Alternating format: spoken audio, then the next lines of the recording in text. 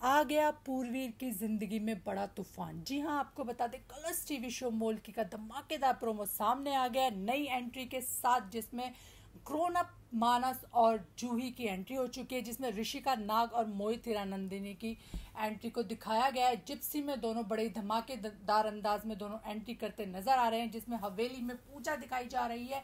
पूर्वी और वीरेंद्र प्रताप सिंह दोनों पूजा करते नज़र आ रहे हैं। वहीं जो है, पंडित जी बोलते हैं कि पूजा संपन्न अब आपके घर में सुख शांति हमेशा बनी रहेगी। तो वहीं एक तरफ़ प्रकाशी फ़ोन कर कर बोलती हैं कि रिवाड़ी में घुसने का टाइम आ चुका है। तो वही दोनों की एंट्री को दिखाया जाता है। मानस और जूही की एंट्री को धमाकेदार एंट्री के साथ, जिसमें जूही बोलती नज़र आ रही है।